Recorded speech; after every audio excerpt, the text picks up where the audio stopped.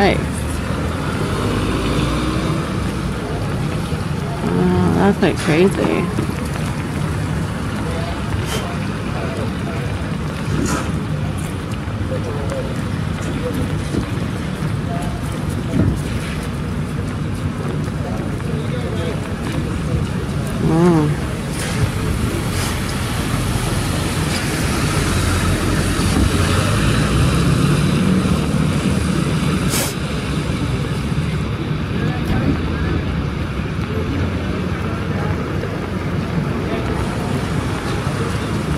talk to the guys there.